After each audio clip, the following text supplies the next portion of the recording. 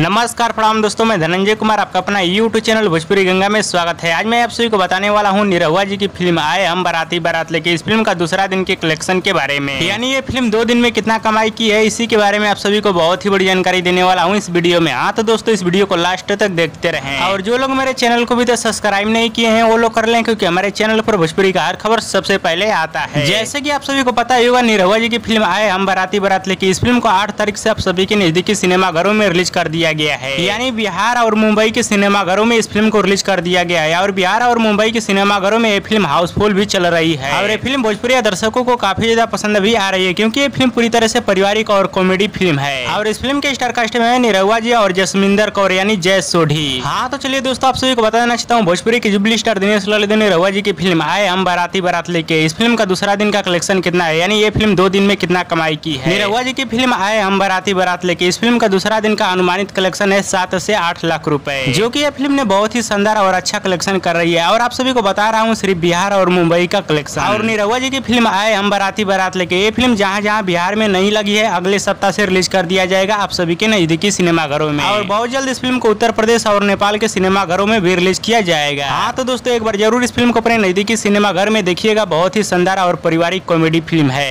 और दोस्तों भोजपुरी के cinema king jubilee star Dinesh रहुआ जी और जय सोढ़ी का वीडियो पसंद है तो ज़्यादा लाइक करें कमेंट करें शेयर करें सब्सक्राइब करें धन्यवाद दोस्तों